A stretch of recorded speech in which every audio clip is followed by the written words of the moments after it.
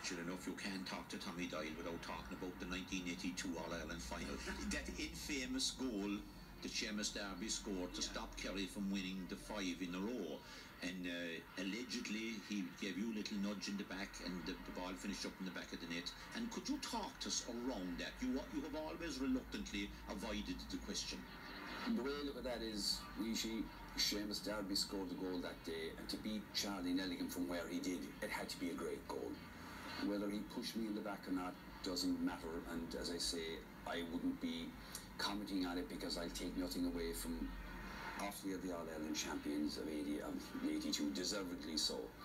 How it came about, I just whatever way I was I think I was playing right half back the same day but whatever happened Seamus Darby had got loose inside in the corner and there was nobody around as about the so-called mind the house so I ran back and uh, as I say the rest is history and as I said Seamus got a good goal to get to beat Charlie Nelligan from the from the distance and angle he did but it had to be great shot it was a once off and as I say I have some great friends in Offaly and I've been up to a lot of functions since with all those lads, and uh, you know, on the day, deservedly. Would you say that he didn't nudge you?